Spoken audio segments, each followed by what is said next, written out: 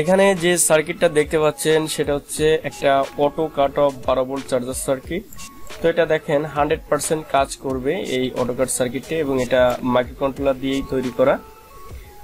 তো এর ডিজাইনটা খুব সুন্দরভাবেই তৈরি করা হয়েছে। আর কিছুদিন পরেই আপনারা এটা পাবেন। আর এটা হচ্ছে পিসিবি ডায়াগ্রাম আর এটা হচ্ছে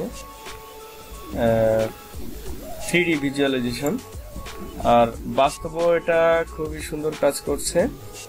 আমি এটা টেস্ট করেছি।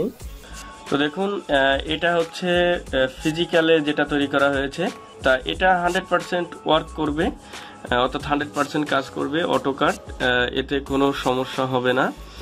হান্ড্রেড পার্সেন্টই কাজ করবে, কারণ আমরা যে সার্কিটগুলো ইউজ করি, সেগুলো হচ্ছে ব্লাইন্ড সার্কিট ওগুলো বোঝা যায় না আসলে কাজ করবে কিনা, আমরা অল্প দামে সার্কিট কিনি।